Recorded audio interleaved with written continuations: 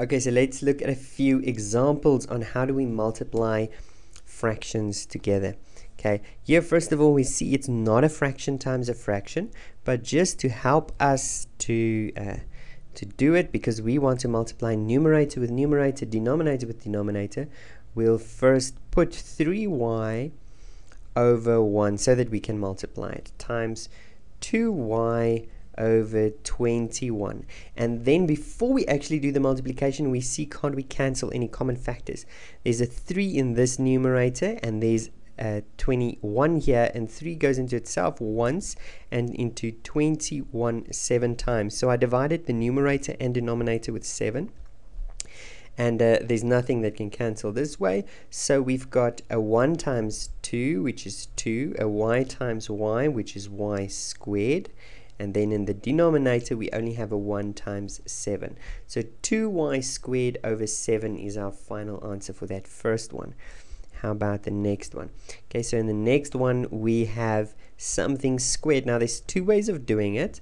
I can either write it as negative 2d over 9 times negative 2d over 9 and this also gives us an opportunity to, to speak about that negative is the negative in the numerators or the denominators?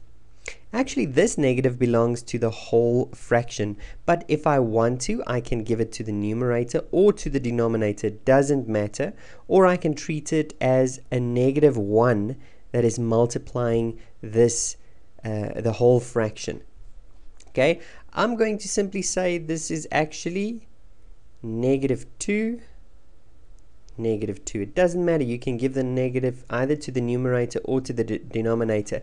The reason why is because in the end, the, the, the sign in front is simply the result of of the signs of the numerator and the denominator. So negative divided by a positive gives me a negative. So um, that that's why the negative comes to the front. But to do the actual calculation, it's probably better to just hand it hand the negative to one of the numerator or denominator.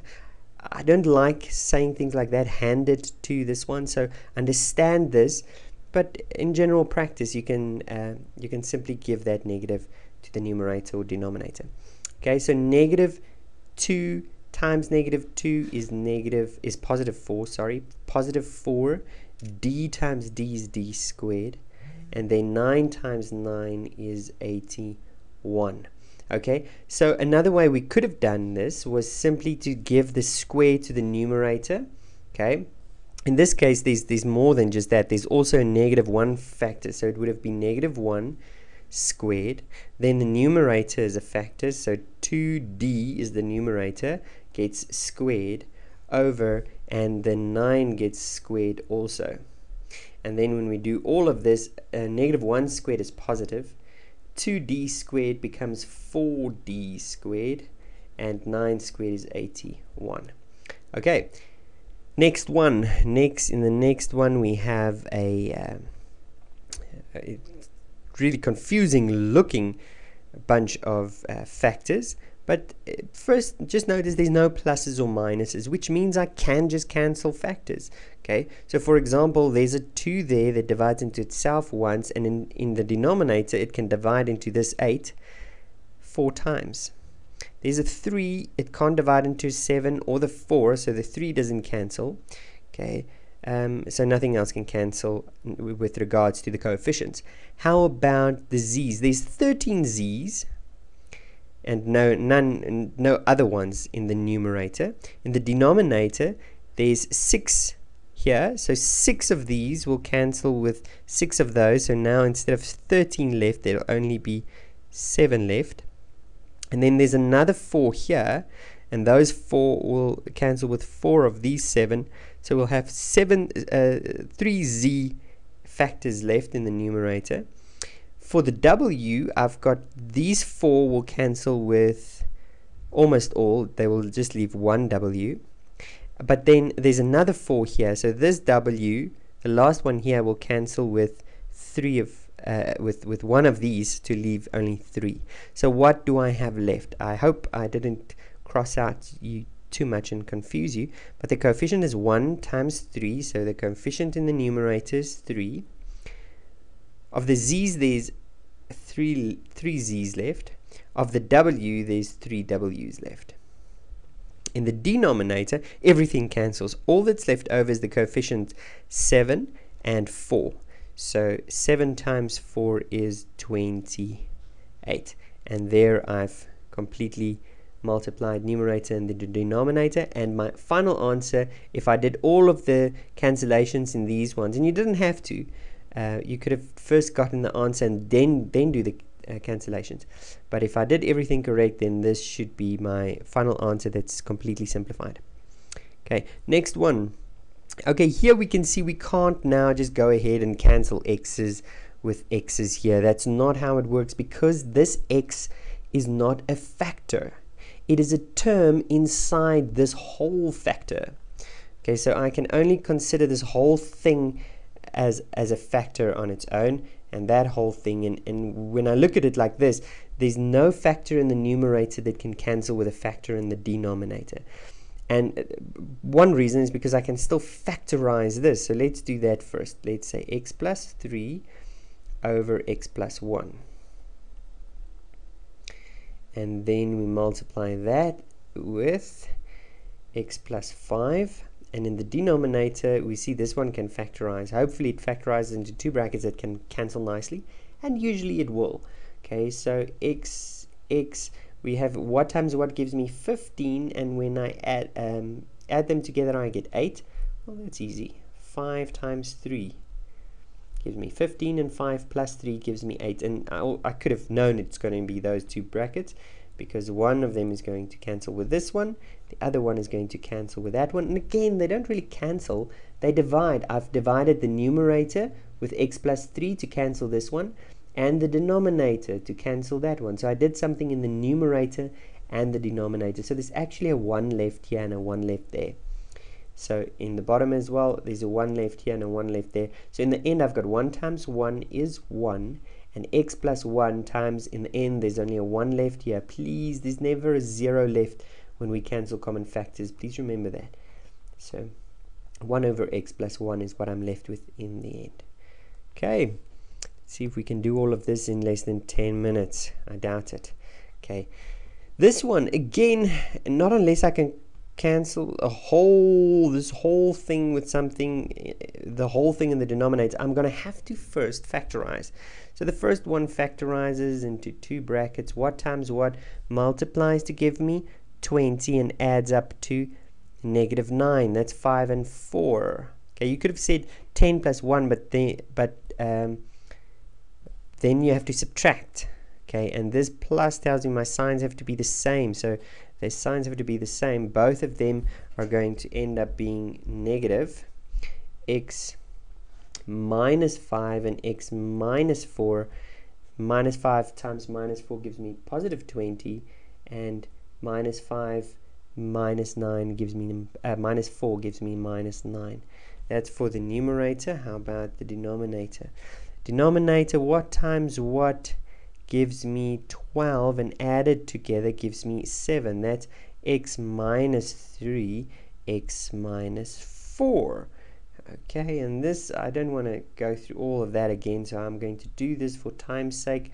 All I'm doing is simply factorizing everything in this case eh, the minus 12 and I get positive 1 means I'll have plus 4 and minus 3 plus 4 and minus 3 gives me positive 1 and when I multiply them gives me negative 12 for the final one okay what times what gives me 7 and when I add them to uh, gives me 10 and when I add them together I get negative 7 that's x minus 5 and x minus 2 okay so now we can just go ahead and cancel uh, until we're blue in the face okay?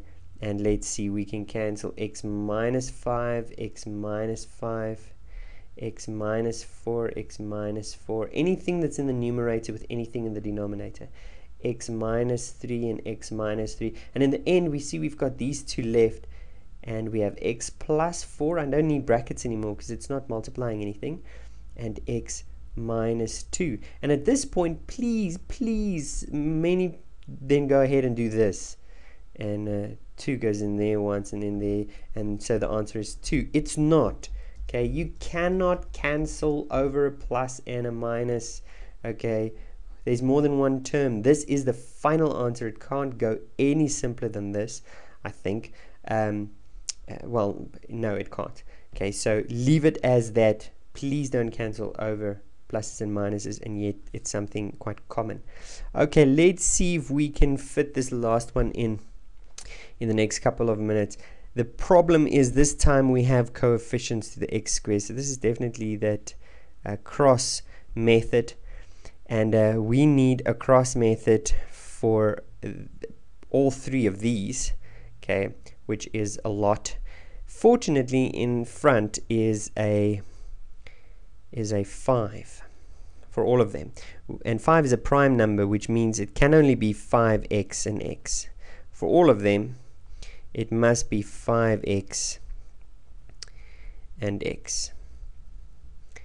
Okay, and we just need to find out what's the other one. For this one, this one we can do, we've got x and x and then uh, this negative 3 in the end what times what gives me negative 3 and when I add them together I get 2 that's uh, negative 2 it's negative 3 and positive 1 okay here I've got 5x and here I've got x. Okay let's quickly do a cross method for each of those three. Let's start with this the, the top one. So what I'm doing is I'm doing this cross method. On this side I know one is 5 and the other one is 1 now I just want to know how do I get 8 well I either get 1 by saying 1 times 2 or 2 times 4 or 4 times 2 or sorry not 1 times 2 1 times 8 or 8 times 1 and what I'm trying to get is positive 6 and I get that by cross multiplying but since there's a negative, I have to subtract. So the two signs must be different, a plus and a minus. Okay, I should get positive 6, which means the biggest one of the two must come at the top. I must get positive 6. Okay, so 5 times 8 is 40, and 1, that's too big. 40 minus 1 will not work. 5 times 4 is 20, minus 2, also not. So this did, this didn't work that didn't work. Now 5 times 2 is 10 minus 4. That one's going to work. 10 minus 4. So it's this one. Okay, 5 times 2, so it's 5, uh, and it should be positive 10, so it's 5 times positive 2, and 1 times negative 4 to get the negative 4. So it's 5x minus 4, and 1x plus 2. Good. Okay, let's try now the same thing. This time we want to get 4. Okay, 4 is a little bit different. Let's just clear this up. Okay. So this time I'm trying to get 4, which means I've got 1 times 4 or uh, sorry, my middle term that I'm trying to get is 8, positive 8 middle term is positive 8 again meaning the, the biggest one must be at the top so it's 1 times 4, 2 times 2, or 4 times 1. So let's try. 5 times 4 is uh, 20, minus 1 times 1 is, so 20 minus 1 is 19. So this one doesn't work. 5 times 2 is 10, minus 2, that one's going to work. 5 times 2 gives me 10 and it's positive 10 so it's 5 times positive 2 and 1 times negative 2 must give me the negative okay? Uh, should it be different signs? Let's see yes okay that's a negative so they have to have different signs which means it's uh, 5x minus 2 and then 1x plus 2 x plus 2 how about this last one? Okay this last one is negative 4. So it's the same thing. The only thing we want now is a positive 1. Okay, so uh, the first one didn't give that. Let's So that one didn't give that. So it must be this last one. Let's see. Okay, we'll do that in red. 5 times 1 is 5. Okay, and we want positive 1. So we're trying to get positive 1. 5 times 1 is 5. 4 times 1 is 4. So that's 5 and 4 4, negative 4, and that gives me positive 1. So it's 5 times positive 1, and 1 times negative 4 gives me 5x minus 4, as well as 1x plus 1. 1x plus 1. There we go. That's a lot of work to get the simplification. I think that's almost 5 minutes of work, but and now we can go ahead and write our answer by first cancelling everything that can. 5x minus 4, 5x minus 4. Uh, then we have x plus 2, x plus 2. Then we have uh, x plus 1 and x plus 1. And right in the end, now all that's left over. So here's left a 1 and a 1, a 1 and a 1 and a 1. They all cancelled and left 1 as a factor. So we left with x minus 3 over 5x minus 2 and that's it.